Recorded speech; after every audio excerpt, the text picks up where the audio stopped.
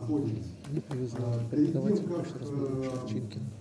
мы покажем вам самое интересное, что у нас есть, я немножко объясню, а, чем отличается изучение общей физики в Московском физико-техническом институте от изучения физики в других технических вузах, а, в других.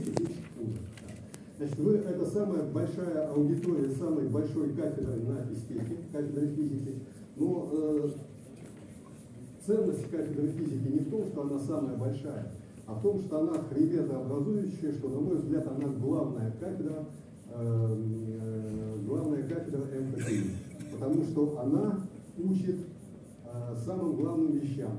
Прежде всего, она учит правильно думать. Э, физика – это э, основа э, любого естественно-научного знания и основа любой инженерной деятельности. Поэтому то, что э, студенты изучают здесь, это наиболее фундаментально, на этом строится все остальное. Это, э, это первое. Второе, э, общая физика, она растет из эксперимента. Да? Есть какое-то наблюдение, есть желание вот, провести эксперимент, понять, осознать, и это есть общая физика. Поэтому эксперимента в процессе изучения физики на физтехе много, ровно половину всех часов, отведенных на изучение физики, а физику наши студенты изучают 6 семестров, то есть 3 года э, физика на физтехе изучается. И, соответственно, в каждом семестре студенты слушают лекции, решают задачи на семинарах и работают в лабораториях. Время работы в лаборатории – это ровно половина всего времени, которое отводится на изучение физики. Вот. Но это э, как бы присказка, а почему, чем отличается физика физтеховская от физики э, других мест, я сейчас попытаюсь вам объяснить. Вот, значит, здесь фотографии, э, фотографии тех людей, усилиями которых знаю, гениальностью которых, преданностью которых делу создано то, что мы сейчас имеем. Это э, все предыдущие заведующие кафедры, начиная от Нобелевского лауреата Петра Леонидовича Капицы, заканчивая Анатолием Леонидовичем Глазуновым. Ну, э, какие задачи ставит физик, я более-менее сказал. Это правильно э, научить правильно мыслить, научить много работать. Кстати, знаете ли вы, что физика – это единственная естественно-научная дисциплина, которая требует включения обоих полушарий мозга. Вы знаете, что мозги у нас несимметричные. Левое полушарие отвечает за э, там, аналитику, за точные какие-то действия, правое полушарие отвечает за образное мышление, интуицию и так далее. Физика требует включения всего э, мозга. Э, так, статистика. Ну, на кафедре физики, э, ну, что написано, я повторять не буду, но, в общем, да, вот масштаб э, явления. На кафедре физики в общей сложности работает примерно 200 преподавателей. И еще примерно 50 человек инженеров, лаборантов, ну, то, что называется учебно-вспомогательный персонал, который помогает весь этот процесс поставить. Кафедра физики с каждым годом становится все моложе.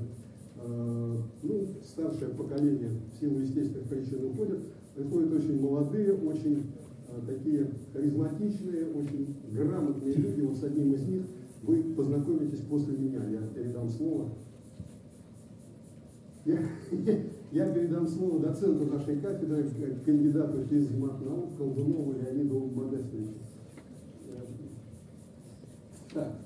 Значит, э, ну как в каждой кафедре в ВУЗе нам приходится много чем заниматься, не только учить студентов, а заниматься одним, другим, третьим, четвертым. Вот тут э, что-то э, написано. Значит, я буду говорить о том, что введено красным кружочком. Творческая компонента в изучении физики и физики. К настоящему времени, я считаю, создана некая система, вот такая пирамида, в основании которой вот, вот этой самой э, творческой составляющей, в основании которой лежит вопрос по выбору на экзамене по физике. В нем участвуют, ну, все обучающиеся участвуют в нем. Вот, примерно 3000 человек, это а, значит, участники этого уровня. Следующий уровень – это проектная деятельность, порядка сотни человек участвуют в нем. Ну и, наконец, вершина пирамиды – это люди, наши студенты, которые участвуют в турнире э, физиков и которые стабильно в последние годы побеждают на международном уровне. Это, в общем, стоит очень дорого на самом деле. Ну, э, экзамен это с легкой руки основателя, это праздник физики на физтехе. Каждый экзамен начинается с вопроса по выбору. Студент заранее готовит вопрос, это может быть там, рассказ из параграфа, какая-то лабораторная работа. Но самый интересный вопрос это те, которые, эксперименты, которые делают студенты. Что-то из того, что делают студенты к экзамену, вы могли видеть сегодня, а, вот еще сможете увидеть.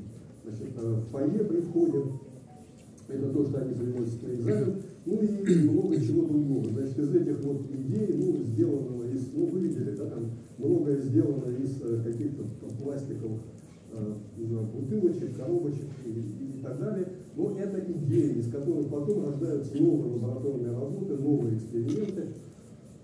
Вот. Ну и, в общем, все это проходит довольно живо, картинки какие-то тут есть с, экзаменом. А что получают, чем кончается, а, вот если ты успешно выступил с этим вопросом по выбору, что тебя ждет?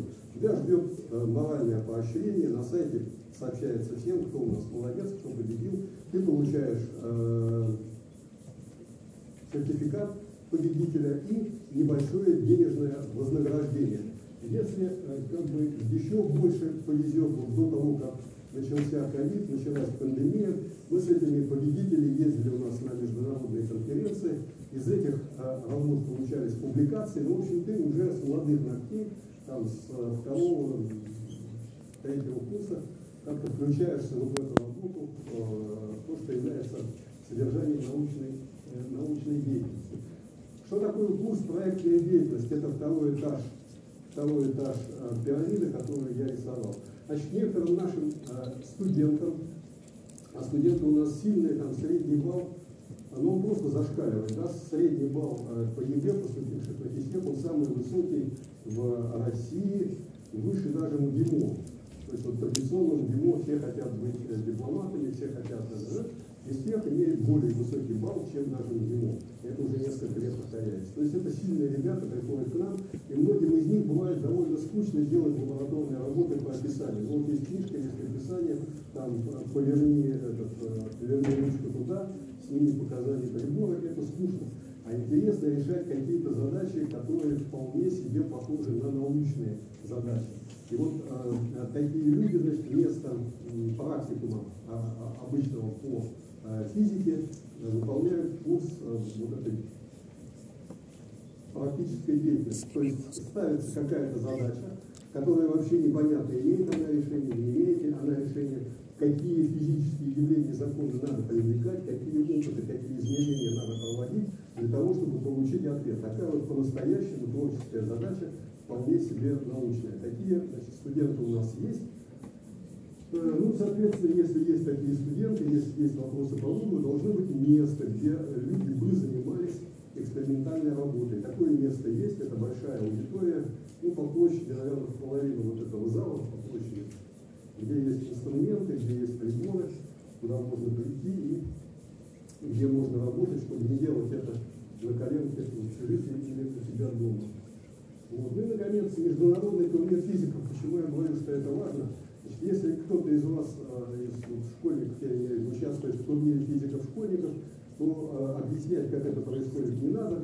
Значит, э, ну и тем, кто не знает, я объяснять не буду, это ну, как бы не хочется занимать ваше время. Но штука стоит в том, что есть международные олимпиады по физике для школьников, а вот студенческой олимпиады по физике международной ее просто нет.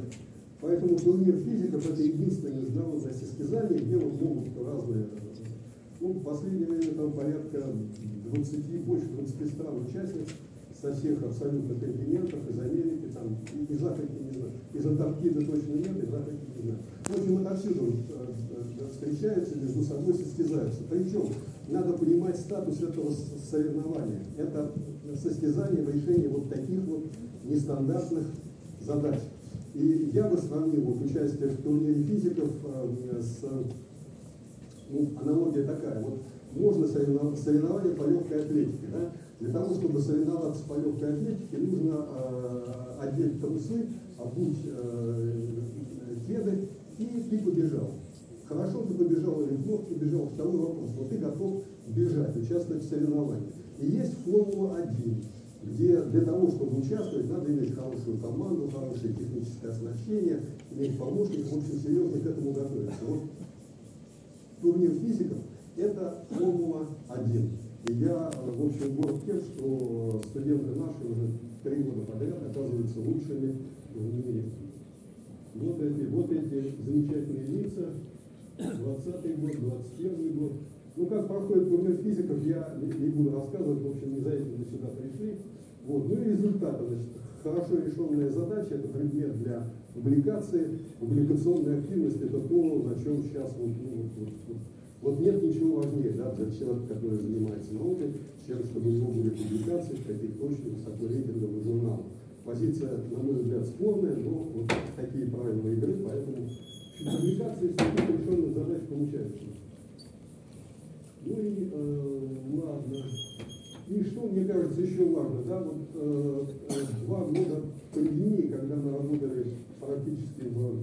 таком дистанционном формате, преподаватели не видели студентов живьем, студенты между собой вот, э, не общались вот так вот, э, непосредственно. И это очень плохо.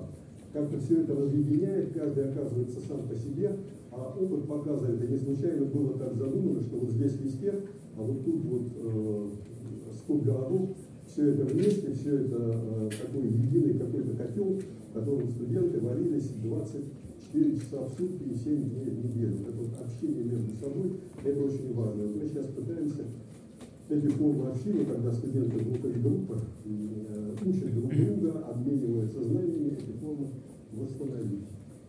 Ну и спасибо нашим партнерам, значит, есть, э, э, есть коммерческие структуры, есть успешные наши выпускники, которые преуспели не только в науке, но и в других каких-то направлениях деятельности которые активно нам помогают, и э, спасибо, спасибо им за это.